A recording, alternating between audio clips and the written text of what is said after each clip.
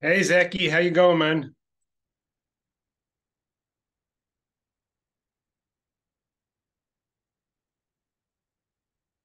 Oh, I think I was muted. How's it going, You man? Can you bro. hear me now? Yeah, all good. Perfect, perfect. Great to meet you. You too, man. I think my AI note taker just came in. It did. Do you want me to kick it out? Yeah, we can kick it out.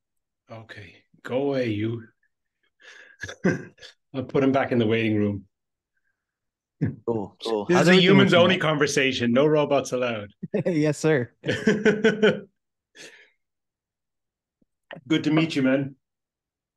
You too. Where are we speaking to one another from? I'm in Ireland. Where are you? Toronto, Canada. Ah, okay, man. It looks like a beautiful day outside your window there. Yeah, it's pretty. Um, I've been cooped up inside actually, so I, I just from the window it looks good. I'll go out and see after I'm um after this interview. Okay, I just came back in from the garden, so I'm really sweaty. My, uh, my, I had, I, my boy said, "Hey, Daddy, let's go play soccer." So we had 30 minutes of soccer in the garden just before this call. Are you in uh Dum- Dublin or where? No, no, I live in a place called Kilkenny, which is kind of rural. It's down in the southeast, and I'm in a little country town with like, you know, it's about a thousand people live in this town. It's a very cute little place. Wow. Dublin is great, but city life is not for me. Yeah, I'm right in dead said, uh, you know, dead center of downtown Toronto, next to Oh the CN. Tower. It's right down the block for me. I can see it from my balcony. Okay. So I'm I'm I'm right in tourist central. So it's the complete opposite of where you are. and is that Super is that your hometown? Like, you born and raised in Toronto?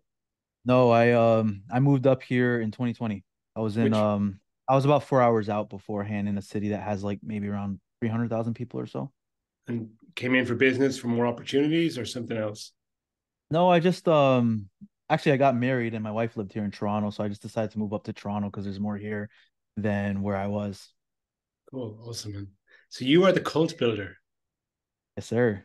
and it's cool. It's like it's funny, like you know, because I think I don't know if a lot of people like this, but before I even knew what marketing was, or before I even knew that copywriting existed, like my pre-existing interest was in sort of like manipulation, cults, and mind control. And it seems like there's a lot of crossover between those two different areas. You know, I think I saw a documentary. Don't know if you've ever seen this one called Century of the Self. You ever see that one about uh, Edward seen Bernays?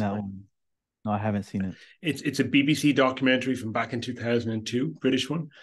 And it's about Edward Bernays, the nephew of um, Sigmund Freud, is considered to be the, the godfather of modern public relations. And it, it was first time I was like, oh wow, all this persuasion stuff that people talk about, this has got a like really stru- major commercial applications.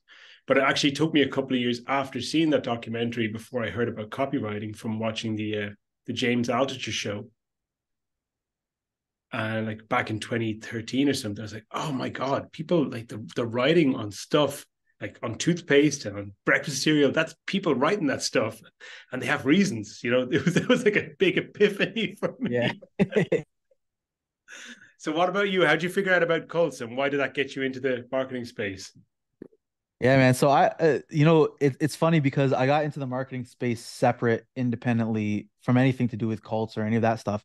And, but I still had a fascination before I even got into the market, marketing space with cults and even just persuasion and mind control and all that kind of stuff that you talked about, right? Uh, the way I actually got into the marketing space was through affiliate marketing initially. Actually, if I go way back, if I go back like a decade to 2012, Mhm. technically I got into all of this through MLM Oh, wow. because back then I was in um I just got into university. I was like maybe I started university in uh, you know I was like 2 years in at that point. Mhm. Um and I was hanging out with some buddies and we were just playing video games in their basement and one of my friends mentioned to me that his his, buddy who lived out in Ottawa, I'm not sure how familiar you are with Canada, but about 6 hours out from where we were had some kind of business going on and he had no idea about the details of what his friend was doing or anything like that. But as is common with MLM people there was this outward appearance of success right um he, he he was like projecting that type of lifestyle and all of that which later obviously I found out wasn't the the whole truth Never but is. yeah, exactly. But but that was what he was projecting. So my friend was talking about it. You know, at the time I was working labor. I was actually working under the table. So I was working on a tomato farm and they were paying me a little bit less than minimum wage because it was like kind of hush hush, pay through cash type thing. and I was looking for, you know, I didn't really know what I wanted to do because I was going to school. I was working a labor job. I was in this very blue collar city. So everybody in Windsor, it's right on the border with Detroit, Michigan. Mm-hmm. So it's mm-hmm. very much dependent on Detroit's automotive industry. So most of the jobs are blue collar and whatnot. And and on top of that, you know, Windsor, I think it probably still is, but back then it was at least the unemployment capital of Canada. So it was the city that had the highest unemployment rate, one of the highest unemployment rates in all of North America. So that's why myself and a lot of people were working under the table jobs, right? So so I didn't really know what I wanted to do with um, university or education. I just kind of went into university because my parents were, you know, I came from an educated family. My dad was always like, "You gotta, you gotta get your degree. You gotta get your degree. You gotta get your degree."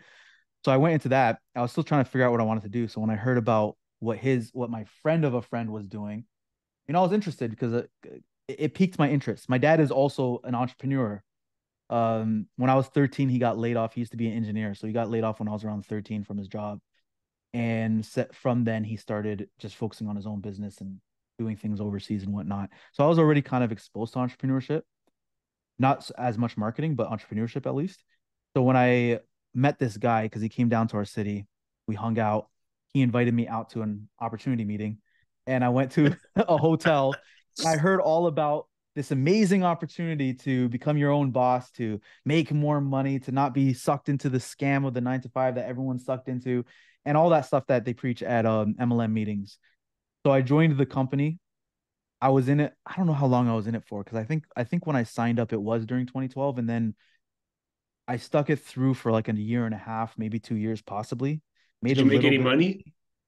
Tiny bit, not not nearly as much money as I as I spent because I went on trips on credit cards and stuff like that, with the idea that I was going to, you know, I was just around on the verge. I just needed to keep doing and work the system, and I was one fall away, one fall away. exactly. so I ended up spending a lot more money than I ever made, but the positive side, the, I took benefit from it still because it did expose me to, you know, I read certain books like Rich Dad Poor Dad, um, you know, different mindset books and things like that. So it, it changed my thinking a lot, which impacted me till today. And, and it also got me onto my whole entrepreneurial journey. Because even though I saw my dad doing it, you know, when growing up, a lot of times your parents tell you to do things. My dad wanted me, for example, to go into business when I initially went into university. And just because he wanted me to go into business, I chose to go to political science mm-hmm. right?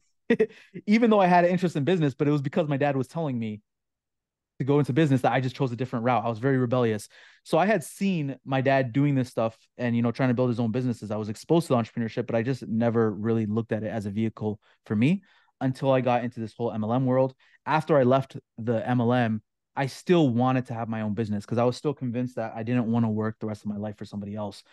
Can I ask so, you a question? When you left yeah. MLM, like was there a point where you there was disillusionment where you realized this model doesn't work or was it just kind of like this company is not the right thing for me or, or what was it? Well at the time when i left it was more so because of the people that was around in the team. Yeah. So i had actually moved up at one point to toronto here be- before now. So i mentioned you know when we were chatting now i live in toronto. I moved up here in 2020 but back in my early 20s i had moved up to toronto for a little bit of time and that was when I was in the MLM company, and I actually moved in and became roommates with one of the guys, the guy who sponsored me, or not his, not my my sponsor, but but his sponsor. And he had gotten me in for some door to door job at the same time, so I can make money and you know brush up my door to door skills. And that's why I moved up to Toronto because I was like, okay, I can make way more money than the job I was working in Windsor, which by that time was a call, I was in sales, but I was working in a call center, so the commissions were much higher, right? Now, when I moved up to Toronto, there was um having roommates. I don't know if you ever had roommates, man, but it was it was a shit experience is all is all I'll say. Especially, you know, this dude now I'm like 100% he was a narcissist, man. Just just living with him it was, you know, I'm roommates with a narcissist and it was by the time I left because I decided to move back to Windsor at one point and I and I didn't want anything to do with that dude and I and by extension I didn't want anything to do with the company. So that's actually what pushed me out is just because of the circle I was in.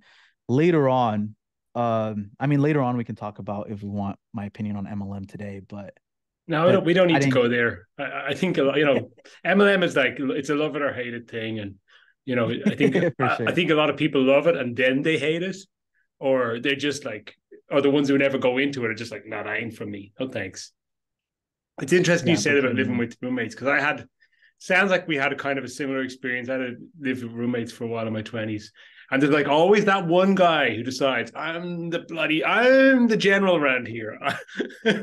yeah, I'm yeah. What's the what's that guy like the top guy in the navy? I'm going to be the admiral. I'm going to be the admiral of this ship, and you're all man. under my command. You know, it's funny because I had multiple roommates, and it was one of my other roommates who actually owned the house.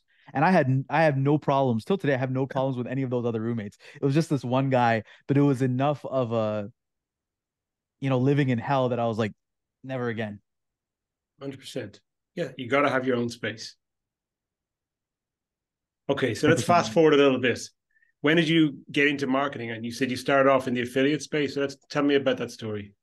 Yeah. So fast forward from then. So this is like that story was way back in 2012. Fast forward to around 2016, I opened up a drop shipping e-commerce store. And and I was doing that till 2018. I was running Facebook ads. So all, all of my traffic was through Facebook ads. That was the only way I knew how to run traffic at that mm-hmm. time or get How'd you get into the drop shipping? Which which ad did you click on? Of course. Yeah, of course. Tell me that's the this is the interesting stuff. You know, I want to so know like what comes up actually. when you type how to make money online into Google. That's always the yeah, question I want to know. so it's not actually a well-known course. It was a course called Shop Hero, and I don't think it's it's not sold anymore.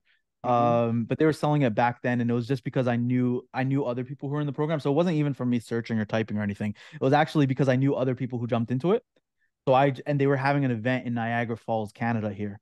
So I actually purchased the program, and as part of purchasing it, you can attend this in-person event.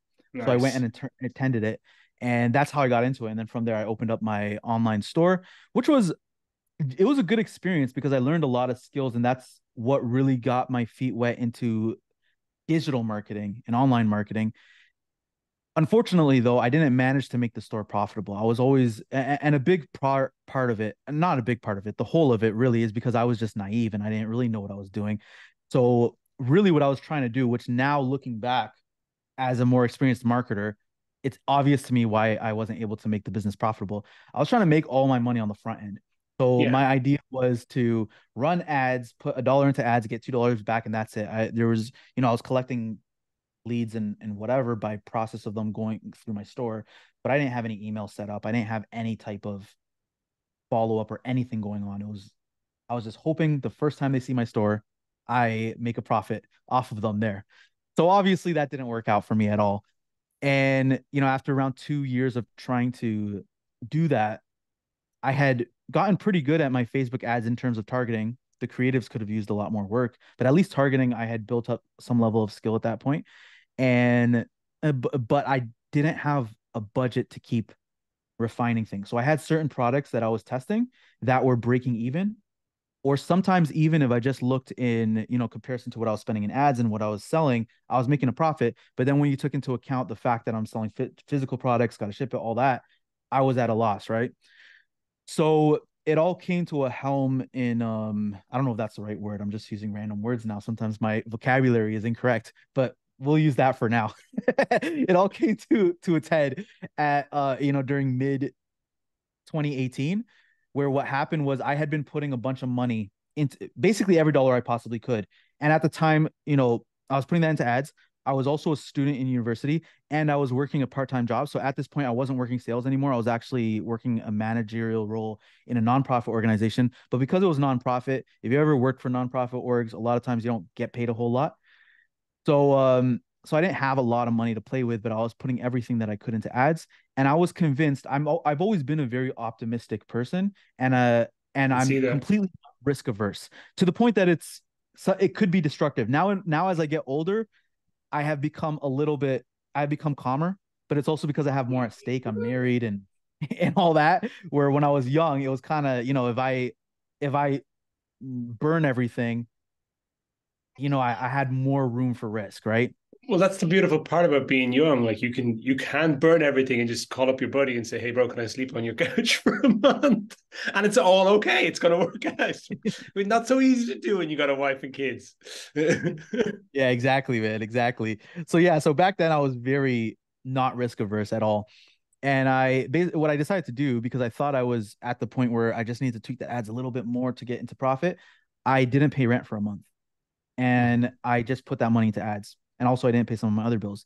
And the logic that I had behind it, the thinking was I only need maybe like another two, three weeks to get this thing profitable. And then once it's profitable, I can up the ad spend, make more money. And then even if I owe some money on rent and all that, it's all good. I'll just pay it lump sum back. Right. Yeah. Gambler's logic. That did... Sorry? Gambler logic. Yeah, exactly. If this exactly. horse, once this horse comes in, I'm going to pay off everyone. I'm going to pay all my debts out. It's going to be all. It's going to be amazing. And I'm buying a champagne for everyone. Drinks from me. Ring the bell at the bar. exactly, man. exactly. That's a great way to put it. so yeah, I was using gambler logic, and um, and one so one month turned into two months, turned into three months, and before I knew it, what happened was I got this letter from my landlord, and it, at the top of the letter it says, "This is a legal notice that could lead to you being evicted from your home."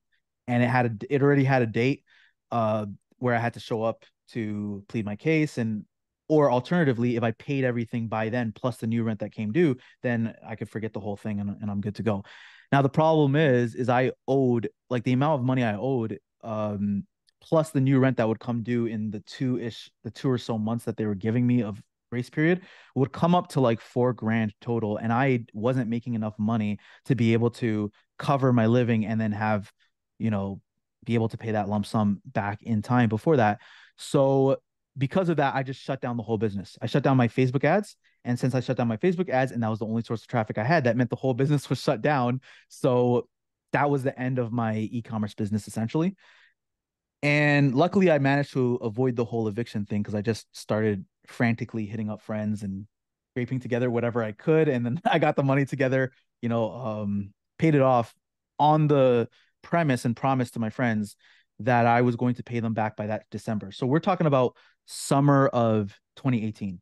So I gave mm-hmm. myself leeway of just a couple of months. And and part of this again was because of that op- natural optimism I had where I'm now I was starting to get a little bit pessimistic where I started to ask myself because it's been years at this point where I'm like I don't know if these people with all these drop shipping ads and talking about making money online and they're driving their Lamborghinis and doing this or that, whatever. Quite telling me everything that's going on. yeah, so I was like, I don't know if they're telling the truth, but at the same time, maybe. yeah, exactly. but at the same time, I thought to myself, I'm like, you know, I have bought things online before, so if I'm spending money online, someone else has to be receiving that money. So mm-hmm. even if even if their story is not 100 percent I mean, for all I know, the specific person could be scamming or not, whatever. There ha- there are people who are making money online for sure. So so I needed to figure out how to make it work. And being a little bit naive and optimistic, I only gave myself a few months. I just I, I didn't know how I was gonna do it, but I figured, you know, by December I could probably figure it out. So I told them by that September, uh, no, by that December I was gonna pay them off, and that's when I switched into affiliate marketing because and the way that that happened was you know i knew of affiliate marketing before but i didn't have a good opinion of affiliate marketing. And the reason i didn't have a good opinion of affiliate marketing is because my only exposure to it up until then was there were some folks who i had met way back when in my mlm days who i was still friends with on facebook and some of them had also left mlm and they switched into affiliate marketing mm-hmm. but the type of affiliate marketing that i saw them doing was like they're selling ClickBank products that were very, you know, they had those that old school landing page that says, you know, discover this secret m- method from the from the medieval ages that if you use it, you will be able to make exact seven thousand two hundred eighteen dollars and thirty four cents per second with only one hour of work per day. Yeah, the secret powder from the Egyptian mummy's tomb that makes your dick grow three inches. That stuff. exactly exactly. So that was what i was used to seeing and i had clicked on some of their ads that they would post and that's what i saw. So obviously you know i was like this is bullshit. There, there's no way this is legitimate. So that's what i thought affiliate marketing was. I thought affiliate marketing was just promoting things like that. And it and i ended up you know i was reading i this whole time so through this whole journey from when i started in mlm back in 2012 up until while i was doing all this doing the dropshipping store i had been regularly reading a lot of books books in personal development, but also a lot of marketing books, persuasion books, uh, you know, sales and all that type of stuff. Because I figured, you know, learn learn whatever I can, whatever I can learn, right? So, so I had read one of the books that I picked up that had to do with at this time when I was looking to make that transition. So I decided I didn't want to sell physical products anymore. That was the first thing because I realized that it was just too costly and I knew that people were selling online courses. So I knew I could sell information products or some kind of digital product that wouldn't have the same type of additional cost that dealing with physical products does. Mm-hmm. So I decided that's what I wanted to do. Now my problem was is I didn't know I thought of online courses, but I didn't know what course I could possibly create because I was at this point I'm in my uh, we're talking about 2018. So how old was I? I was born in 91. So that means I was like 27 years old, right? Around my mid 20s. I hadn't accomplished anything remarkable as far as I was concerned. I had only managed to fail in business, and I'm not going to sell a course on how to fail in business. So I didn't know what the heck I could do. so I started reading books. I started reading books about uh, you know digital marketing information products and trying to think of like what I could possibly do. And in one of the books, the author mentioned as a side point affiliate marketing. And he said, you know, the way he put it, the way he defined or described affiliate marketing, I don't even know if he used the word affiliate marketing itself, but but he mentioned, you know, all these principles that you apply as a marketer, if you were selling your own thing, you can still apply them selling somebody else's thing. The only difference really is you're selling somebody else's product. And for me, that was an eye-opening moment because I realized I can do I I can, you know, start making money selling information products without having to create the information product myself. So that's how I got into affiliate marketing. Um, I started out selling, you know, some courses, also softwares like ClickFunnels, so on and so forth. That was the big mm-hmm. thing back in 2018. That Let's talk about the how because affiliate has a lot of different strings to it. Like yes. the, the biggest part of affiliate is probably back end email marketing, where people are accumulating their lists and then they're actually affiliating other products. But a lot of people do run cold traffic to affiliate and just actually get the front end conversion themselves. So, what type of affiliate were you doing? Yeah. So, when I got into affiliate marketing, the first thing I attempted, actually, funny enough, was I did try out first with just Facebook ads. And the reason I did that, I had a little bit of money left over from what I borrowed from my friends. Mm-hmm. And and I thought up until that point I had gotten decently like I understood Facebook ad targeting, right? I now I realize looking back that I wasn't as knowledgeable or as skilled as I thought I was because the creatives could have used a lot of work and and more but at least eh, you know at the time I thought okay I really now I understand targeting. So I just need to use that to you know put up some ads to the, to these affiliate links and put them in front of the right people. So I ran like I had like 800 bucks left from what I borrowed from my friends and I put that all into Facebook ads for the next 2 weeks and I didn't make a single penny I did collect emails, but still at that point, I wanted the quick fix. So I didn't send many. I I, I might have set up like two, three emails to go out to the people, but I didn't really send many emails at all to them. I just collected a bunch of email addresses that I ended up doing nothing with. And I just concluded at that point that okay, my attempt at the Facebook ads failed. So I need to try something different. And while I was getting to affiliate marketing, I had joined different Facebook groups that were active and some of them were just general marketing groups some of them were focused specifically around affiliate marketing. And while i was browsing in one of those facebook groups a guy who was he was active at the time he's no longer active now for the past couple of years but he was um he he was showing up on the leaderboards of different affiliate contests and and whatnot for promos. And he put up this post in his group where he said hey guys so here's how i got to my first $1000 $1200 per month recurring by selling affiliate products. This is the exact strategy that I used for those of you who can't afford ads or, or anything else, and all you have is your time. And basically, the strategy that he laid out there was probably uh, now it's common knowledge, I think, to a lot of people coming into this marketing game and using social media. But essentially, it was through Facebook, at you know, figuring out where your target audience is, what Facebook groups they're in, and so on and so forth, what pages they engage with, adding them to your friends list, starting conversations, making friends with people. And then, you know, through those conversations, you find out what problems and what issues people have. And then you can point them to an appropriate solution as an affiliate. So that was a very simple approach, very simple organic approach, right? Mm-hmm. Uh, but that was the strategy that I used. So I just I saw that post. I was very, very desperate and very hungry because I only had a little bit of time before I had promised that I was going to pay my friends back. And because I'm not from a huge city. The population, I don't know what the population of Windsor was at that time, but you know, it's like 300,000 people. I'm specifically from the West End, which is even smaller. Everybody kind of knows each other. So if I didn't pay my friends back, not only would I lose my friends, uh, you know, my reputation would be destroyed. I wouldn't be able to go to Walmart without people saying, "Hey, here's the guy who scanned all his buddies." You know, you know what I mean? exactly. So, so I was very stressed out because the time the clock was ticking, and I needed to figure out how to make back the money to to pay my friends back. So I just decided when I saw this post, I'm like, okay, you know what? I don't have time to look at different options to question this or anything. I'm just going to put my blinders on and just execute on this, even if I don't entirely know what I'm doing, even if I do a shit job at having conversations with people and I don't fully know how to sell them properly. Luckily, I did have a sales background. So some of that obviously did transfer over into these mm-hmm. conversations. Uh, but I just chose that I'm, I'm going to focus on that. So I started doing that. Uh, that that was the exact strategy I used basically through Facebook organic. Fast forward a month uh, from there, I managed to make over a thousand dollars in affiliate commissions in that first month of doing that. And then from there, that was just my focus. Shortly after, though, around the same time when I started doing that, because I kind of just because I saw everybody else doing it, I started my own Facebook group on the side. And it was just a place to house my audience. And also, you know, when I sold people things, I would use it as a little bit of a bonus where I'd tell them, you know, go in my Facebook group and, you know, if you have questions, just drop them in the group and I'll be able to answer them for you if I can. And I'm also in my group sharing what I learn as I go through this process myself. So that was the whole thing. It was kind of a side thing for me at the time. And I just kept doing that for the next couple months. Then when it got to December of that year, I still hadn't paid my friends back because the money that I was making was just going into my bills.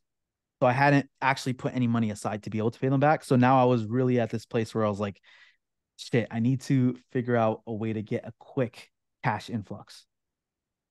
And I'm not going to go into that whole story, but basically what I did at that point is that so I had my Facebook group. I had grown it. I don't remember what size it was by that December, but I decided inside of my group that I was going to host a virtual summit. So I organized this virtual summit. Uh, I used that as a product, so it became my first product of my own that I sold because you know the summit was free for people to attend, but they could upgrade to a VIP pass, get all the recordings and bonuses that I put in the offer and stuff like that. And I also used it as a vehicle to quickly grow my Facebook group. So I added, I think in my first summit, that I organized that month added like maybe like 700 to a thousand plus people very quickly to my group, like almost overnight. Uh, and what was the summit about? What was the team? And it was, was it was about affiliate marketing. So it was focused around affiliate marketing. And basically what I did was I brought in people who are ahead of me yeah. and who like had accomplished, uh, you know, built pretty nice businesses, made good money with affiliate marketing. And each of them were just going to tr- train on their own strategy of how they go about affiliate marketing. So that's what I did that month I made it was the first month where I ever made five figures. Amazing. I was gonna say online, but in life, because I I crossed a little bit over eleven thousand dollars that I made. I hadn't ran any ads or anything, so it was all fully organic. Um, it wasn't all profit because I pay, I did pay out affiliates. I attached an affiliate program to it, and I had my speakers promote it. But but it was the first month that I crossed over eleven thousand dollars, which to me was it was nuts because I had never I had never made that much money. And and to give you context, when I started my business, my goal was to make two thousand dollars per month. That was what I thought was realistic and reasonable for me to aim aim for at that time. Love it, man. So so yeah, so I so I did that. Um, from there, I started branching out of over time, slowly, but over the next like couple of years. Did you pay your buddies yeah. back? Yeah, I did pay them back. Okay, I paid them back. Yeah. Luckily, I paid them back, so so no um no, no hard, hard feelings, feelings left over there. so yeah, so over time, you know, I continued affiliate marketing. Um, after that summit, like two months after I left my job, so that was February of 2019, and then from there, I just decided to go all in on, on my business, and I've been full time in my business ever since. Eventually branched out of affiliate marketing, so I launched my own software in, at some point in 2019, around September of 2019, mm-hmm. and then and then eventually in 2021 is when I launched the Cult Builders brand. And that was because I got to this, that has a whole story in and of itself. And I get long winded with my stories, as you can see. Mm-hmm. So maybe I won't go into the whole story with that. But long story short, I got to this point in my business where I was kind of frustrated with it because what I was doing for the most part was, you know, now in my group, it was mostly focused around teaching people how to grow their own audiences and grow their business organically, like how I had done up until that point through Facebook and and whatnot. And I don't know, um, John, I don't know if if you were running in the same circles or remember like back in around 2020 ish, everybody was trying to position themselves as organic, or at least in my world around me, I saw everybody was trying to position themselves as organic coaches and organic marketing coaches. And I'm going to teach you how to build a profitable business through Facebook, yada, yada, yada. So I felt like I was just getting lost in that noise. And I felt like I was just another person preaching the same shit as everybody else. Mhm. And also, also up until that point, I didn't feel like my business and my brand online really reflected me personally and and who I actually am. I felt like I was putting on this mask and this filter and and pretending to be in a certain way, like filtering myself to a certain way so that I can be professional and look like the person I'm supposed to look like to be taken as a legitimate marketer and blah blah blah. So that just got me kind of frustrated to the point I was losing motivation even with my business. So I decided in the end of 2020, going into 2021, to essentially take a hammer to the whole business. And I went quiet for like a good month or two and went back to the drawing board and started actually thinking deliberately about what I wanted my brand to be, what I wanted the focus to be, what I wanted all my, you know, my value proposition and my products and everything, what I wanted to focus it around. And when I was looking back on my own journey, the main th- the thing that allowed me to be able to leave my job to live full time off of my online income was because I had built up my own audience. I wasn't I hadn't been running ads this whole time till today. I don't I haven't been leveraging ads. I'm actually banned by Zuckerberg, which I'm trying to get fixed. But right now, I can't even run ads on Facebook. We can talk about that afterwards. I know somebody who can help you with that. okay, for sure, man. that would be awesome.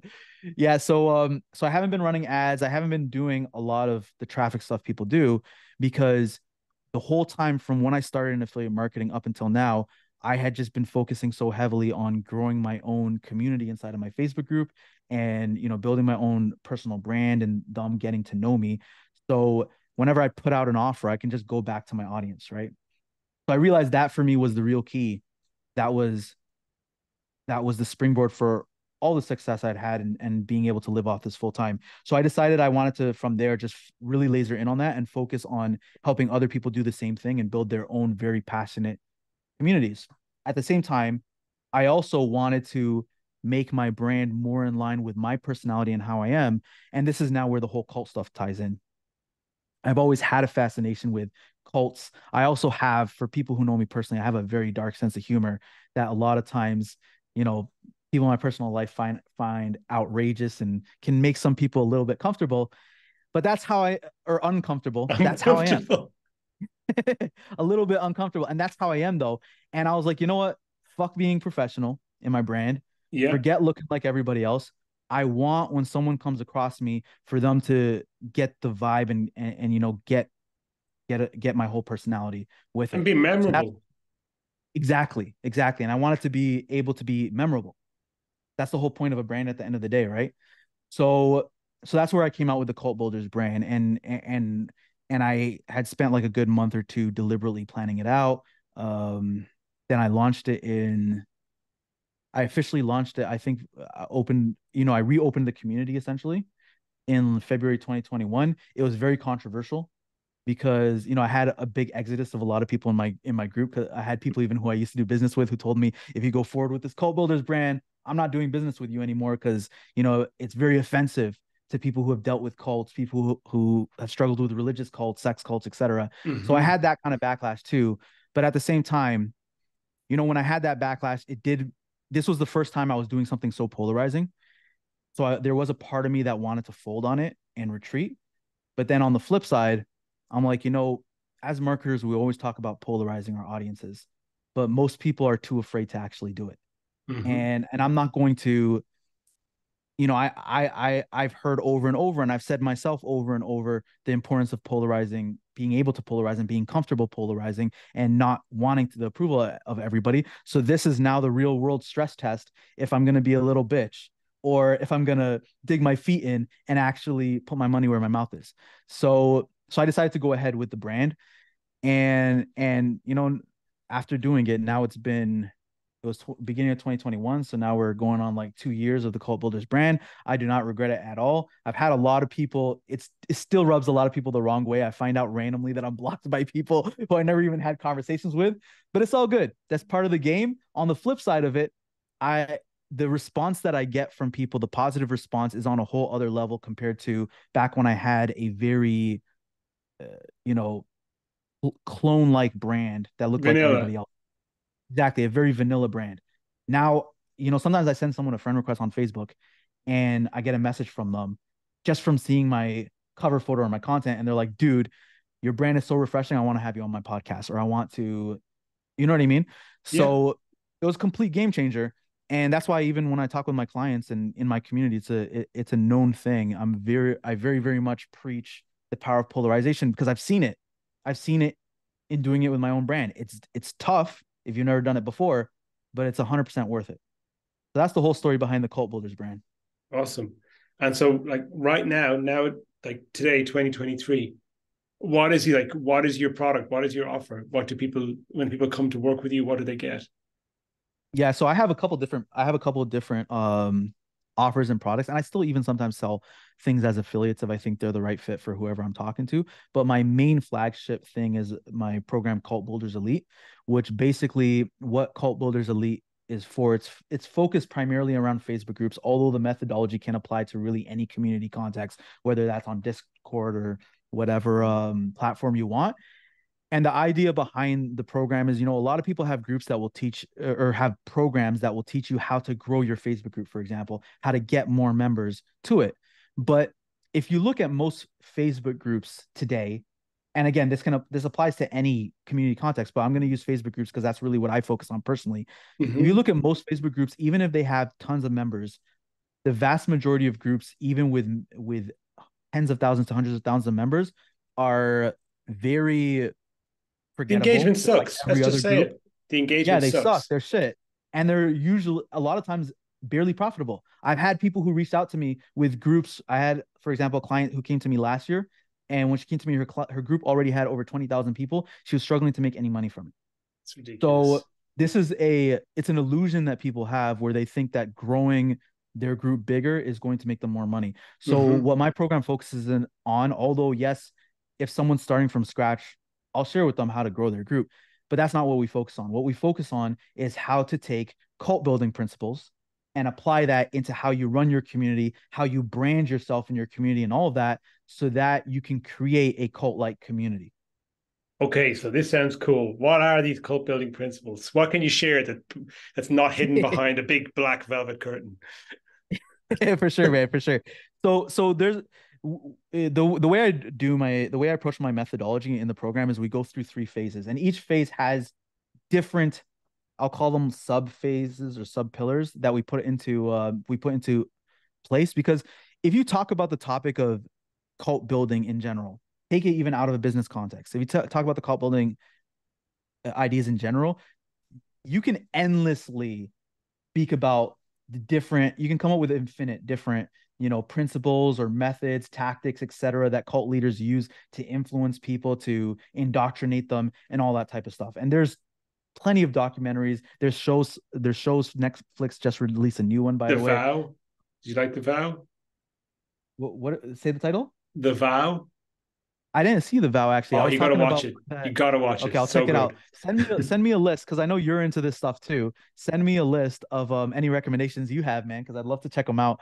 Because I I got a ridiculous amount of books and um documentaries and and whatnot on my to read and to watch list that will take forever to go through anyways but but there's one that netflix just released that's called how to be a cult leader i think or how to become a cult leader it's a it's a sequel to they had a series before called How to Become a Tyrant. Have you seen that one? No, I gotta check it out. It sounds Man, fun. it's it's really cool. So what they're doing is I only watched the first episode so far, but the first episode was an analysis of Charles Manson and and different things he d- did, and and each episode is an analysis of a different cult leader and different methods. And you, if you analyze what they've done, there's a lot of things at play. So it really depends on who you're asking, what goes into what tactics go into you know brainwashing people indoctrinating people and getting mm-hmm. them to join a cult a different person you ask will tell you different things.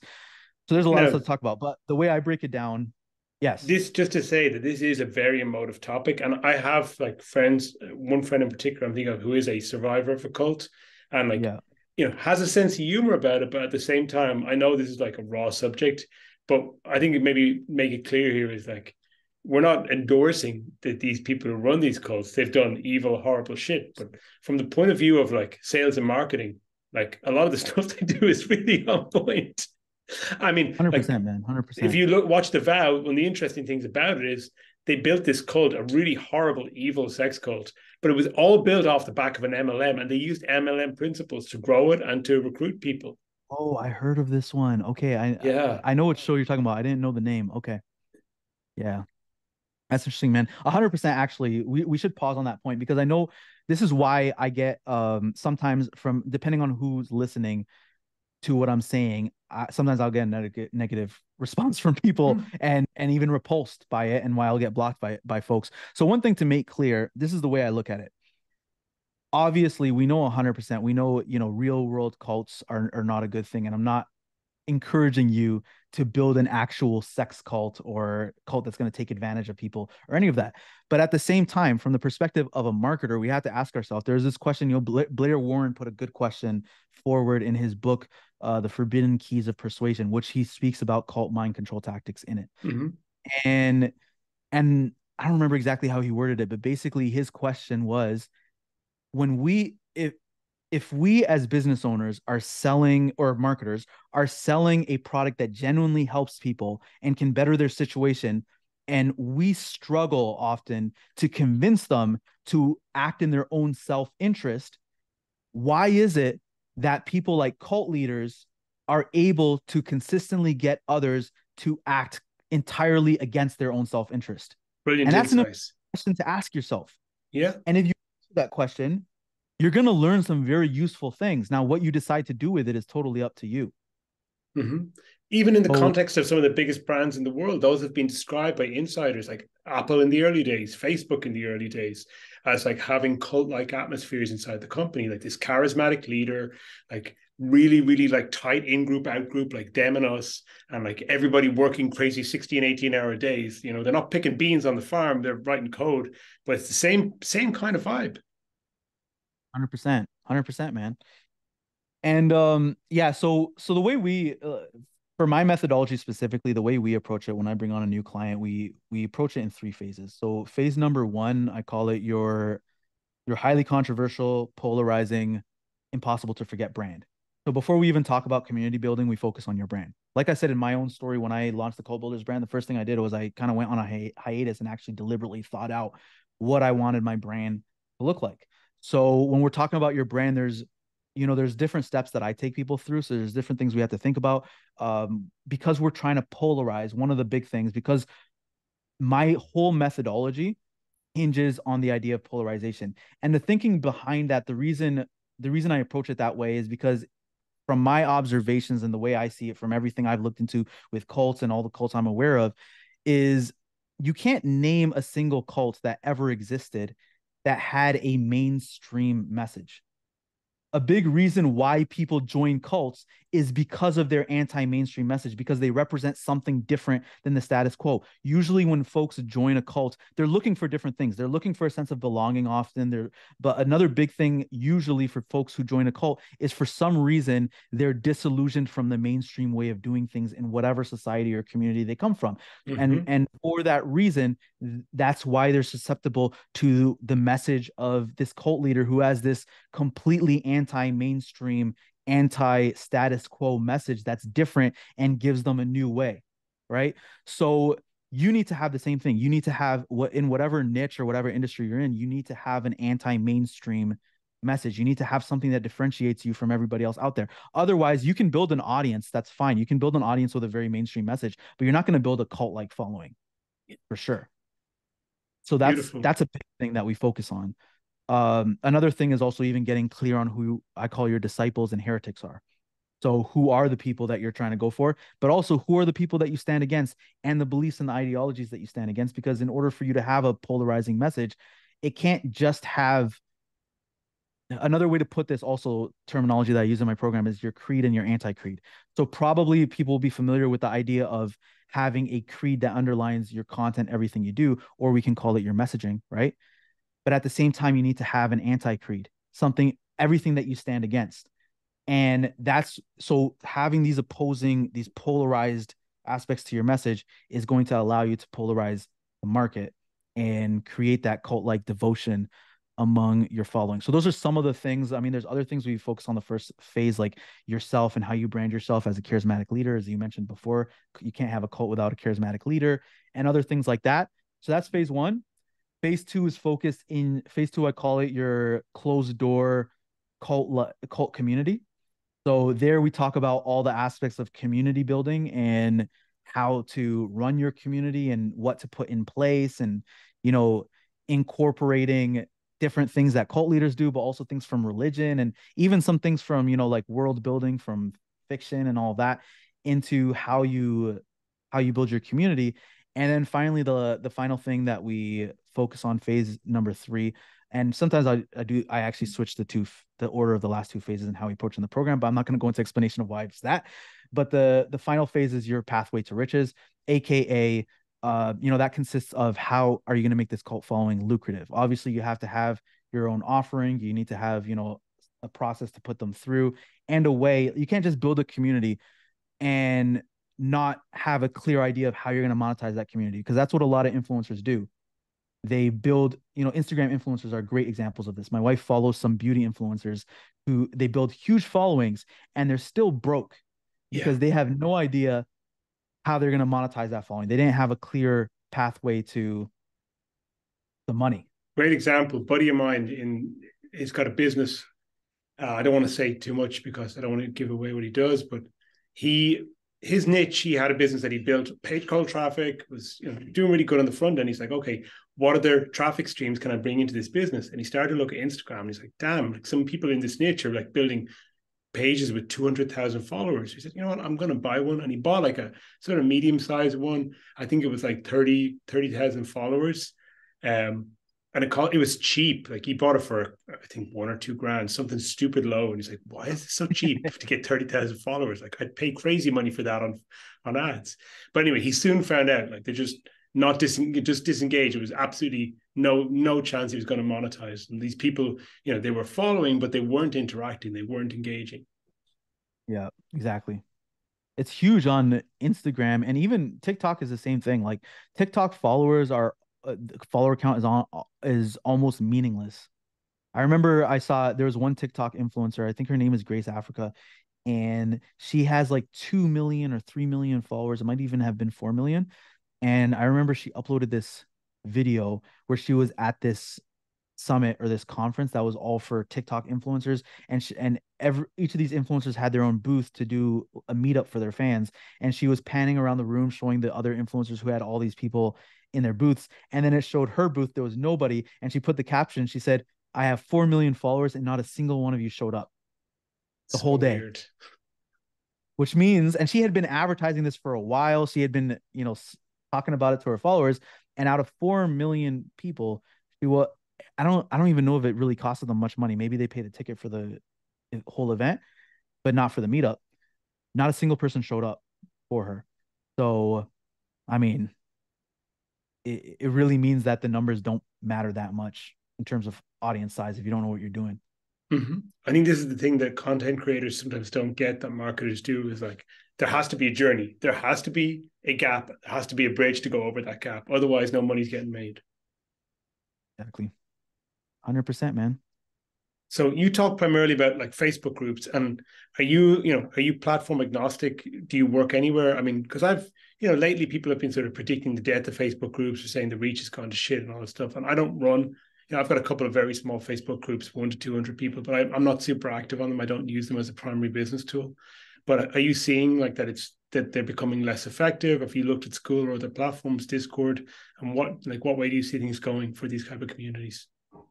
Yeah. So personally, I am platform agnostic. Like these principles don't act. It doesn't. It doesn't need to be Facebook groups. It doesn't actually matter. And for all I know, you know, fast forward a couple years now, I might not have any interest in doing Facebook groups and I might have moved over to Discord or somewhere else. But I'm also not convinced, man, of um I know everyone's saying Facebook groups are dead. I'm not convinced of it. It's mm-hmm.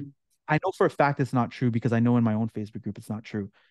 And they're they are right. They are for sure 100% right in general. The reach on in Facebook groups has gone gone down.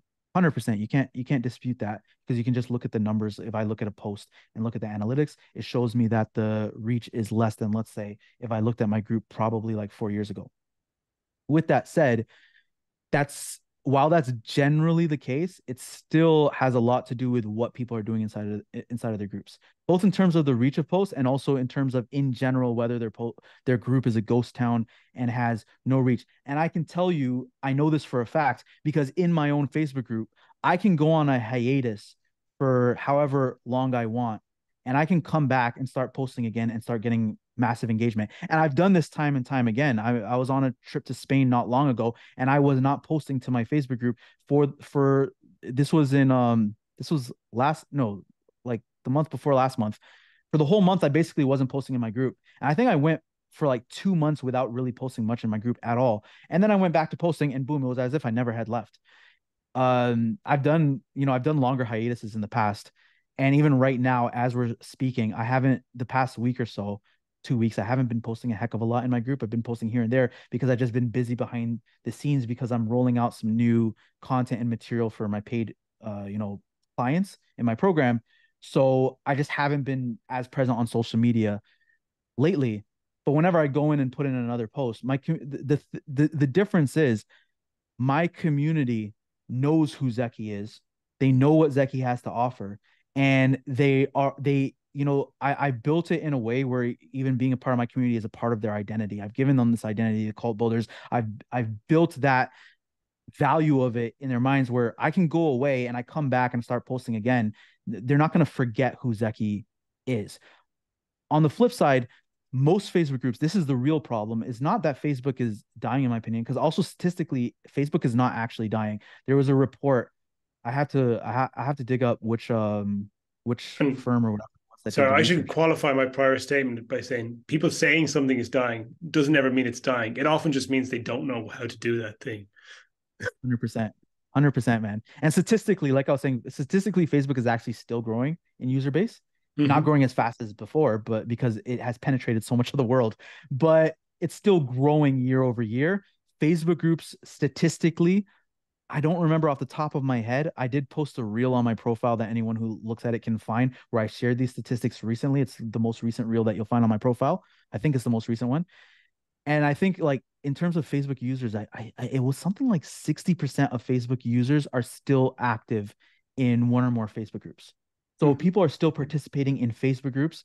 Um, people are still joining Facebook. People, Facebook is still the leading source of referral traffic to other websites. Like Facebook is still a massive dominant player.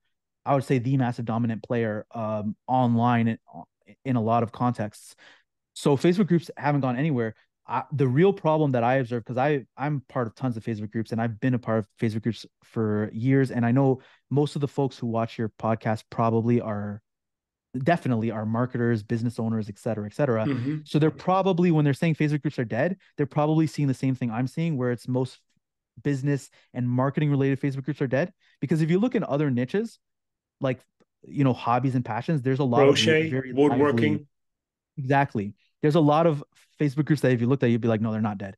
Marketing and Facebook groups for a large part are dead, but it's because of how their owners treat them. They don't actually build communities, they just see them as a funnel. And if you do that for long enough, if all it was was a funnel for you to source leads from and to churn and burn leads through, of course your group is dead. Yes, I love it. You're absolutely right. I just thinking, I mean, the most one of the most active groups I'm in is a group for Mercedes drivers in Ireland, Irish Mercedes owners group. That group is just so active because the guy who runs it doesn't directly try to monetize anybody. It's just exactly. like super active community. People who drive Mercedes Benz. It's like it's you know, and Irish people love Mercedes Benz. People are crazy about Mercedes Benz here. So it's just a super active group with tons of content every day that the users are generating. And you're absolutely right. The marketers are they usually do want to squeeze too much juice out of every orange. Exactly. So it's it's really because of how they're approaching their group. But if you took a uh, now you know the example you gave, you said you know, they're not trying to monetize the group. So obviously, you know, people don't feel that they're they're not feeling burned or anything like that. It's just a place for them to go talk about their hobby. As business owners and marketers, we do want to monetize our groups, but at the same time, you it needs to be a community first and foremost. That's the way I look at my group. Is it's a community first and foremost. And if you're building a community, if you're building your brand the right way, and people are benefiting from you and they know what you have to offer, then it's not hard to monetize from that. You're going to have opportunities come your way. You can create opportunities because I can easily reach out to people in my community who've been binging my content, who've been engaging with my stuff and say, Hey, I got this new um, offer coming out and I think that you'd be a good fit for it. I'm not 100% sure, but do you want to chat about it and see? And that can be a very low pressure thing because it's uh, that message that they get from me even as an outbound message is not like a cold DM they got from some random appointment setter who they have no idea who that is. They're hearing from somebody who they've been, you know, interacting with their content for interacting with your content for ages. It's a very, very warm, very low pressure, very um easily receptive message to send. And that's just one way you can monetize. But my point is, is you, you know, marketers the, what they're falling what they're you know falling victim to i feel like is what i fell victim to in a large part when i was earlier in my journey where i said i wanted to monetize really heavily on the front end because i didn't have any patience. But if you have that patience where you can build a community and you know that you build this community and you actually build it the right way that it's not hard for you to monetize it then you don't need to be squeezing people and burning and churning your community in the process. It's beautiful man and absolutely right. I just think straight away of just a bunch of different instances of like groups where they do it, they don't do it, where they do it right. And I don't want to name names and not name, but I can think of people who do it right. You go in and like it's just chill, but there are offers to be had.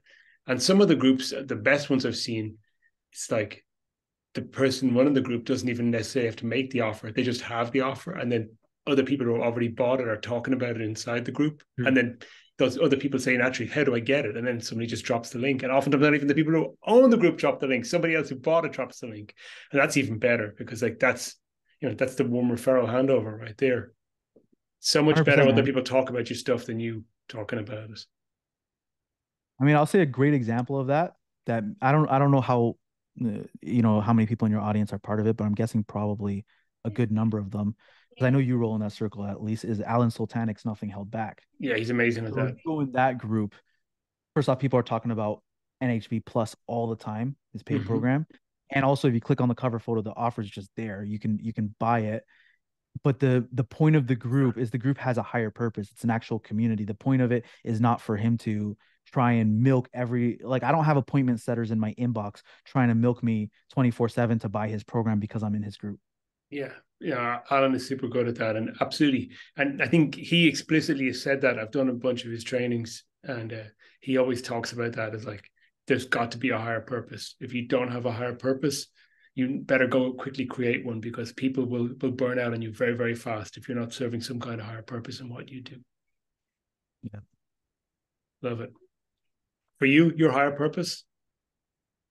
My higher purpose is, I mean, with my business, really is I have I have to go deeper into this honestly, but uh, for me right now is helping people with their businesses and helping them solve their problems, which is kind of simple.